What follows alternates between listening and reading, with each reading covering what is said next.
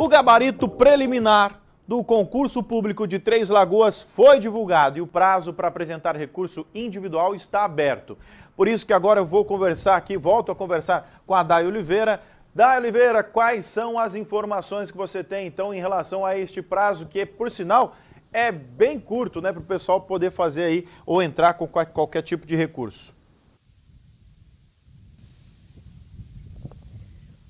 Oi, olá mais uma vez, Rude. Exatamente, é bem curto, somente hoje e amanhã. Amanhã este prazo encerra às 23 horas e 59 minutos. Segue o fuso horário aqui do estado de Mato Grosso do Sul. Então, um minutinho antes da meia-noite, né, até um minutinho antes da meia-noite, as pessoas ainda podem entrar com esse recurso individual em relação à prova objetiva aplicada no último domingo desse concurso da Prefeitura de Três Lagoas. Então, quem eventualmente tiver algo para contestar, alguma dúvida para esclarecer, pode entrar em contato com a FAPEC no e-mail que é o FAPEC, concurso@fapec.org.br, repetindo, concurso@fapec.org.br. Eles disponibilizam aqui, Rude, dois telefones, porque às vezes as pessoas ficam muito em dúvida, né, em relação ao que escrever, é, se tem algum outro também endereço ou até mesmo WhatsApp. E eles já divulgaram que é o 33455910 e também o 33455915.